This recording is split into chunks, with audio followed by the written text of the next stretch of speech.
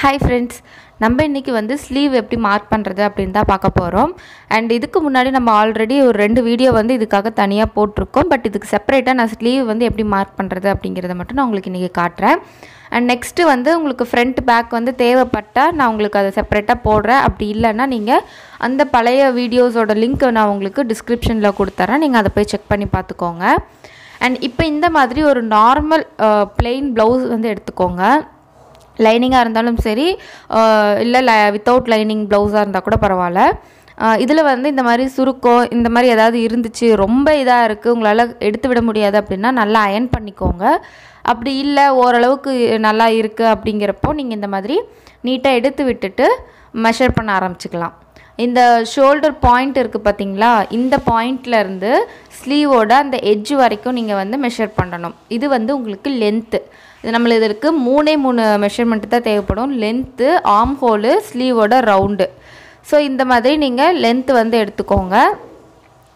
எல்லாமே சுருக்கம் இல்லாமல் நீட்டாக இருக்கணும். அதே போல் எந்த ஒர்க் ப்ளவுஸும் இருக்க வேண்டாம். ஏன்னா ஒர்க் ப்ளவுஸாக இருந்துச்சு அப்படின்னா உங்களுக்கு மெஷர்மெண்ட் வந்து மாறும். அதனால நீங்கள் வந்து இந்த மாதிரி நார்மல் பிளெயின் ப்ளவுஸாக எடுத்துக்கோங்க.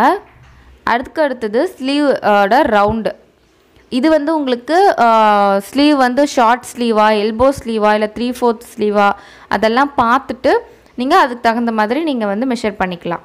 இந்த மாதிரி கிராஸில் அப்புறம் அன்னியூனாக இல்லாமல் ஸ்ட்ரைட்டாக வச்சு நீங்கள் இந்த ஸ்லீவோட ரவுண்ட் மெஷர் பண்ணிக்கோங்க. அடுத்தது ஆம் ஹோல் ஆம் ஹோல் வந்து பார்த்தீங்க அப்படின்னா உங்களுக்கு இந்த மாதிரி கேர்வடாக இருக்கும்.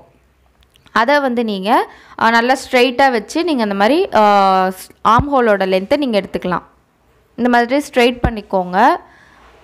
நெக்ஸ்ட் இந்த ஷோல்டர் பாயிண்ட் இருக்குது பார்த்தீங்களா நம்ம ஸ்லீவோட லென்த் எடுக்கிறதுக்கு ஃபஸ்ட்டு வச்சோம் இல்லையா? அந்த பாயிண்ட்லேருந்து இந்த ஆம் ஹோலோட லென்த் வந்து நம்ம மெஷர் பண்ணிக்கணும். ரொம்பவும் இழுத்துறக்கூடாது. ரொம்பவும் அப்படியே வச்சு லூஸாகவும் வச்சு எடுத்துடக்கூடாது கரெக்டான ஒரு ஸ்ட்ரெச்சு கொடுத்து நீங்கள் வந்து எடுத்துக்கோங்க. ஸோ இதுக்கு வந்து நம்ம ஸ்லீவுக்கு வந்து இந்த மூணு மெஷர்மெண்ட் தான் தேவை. ஸோ இது மாதிரி நீங்கள் எழுதி வச்சுக்கிட்டீங்க அப்படின்னா நீங்கள் மா ப்ளவுஸில் வந்து நீங்கள் மார்க் பண்ணுறதுக்கு ஈஸியாக இருக்கும். அண்ட் டேரெக்டாக உங்களால் கிளாத்தில் மா மார்க் பண்ண முடியும் அப்படின்னா மார்க் பண்ணிக்கோங்க. அப்படி இல்லைன்னா ஒரு பேட்டர்ன் ஷீட்டில் போட்டுட்டு அதை ட்ரான்ஸ்ஃபர் பண்ணிக்கோங்க. அண்ட் தேங்க்ஸ் ஃபார் வாட்சிங்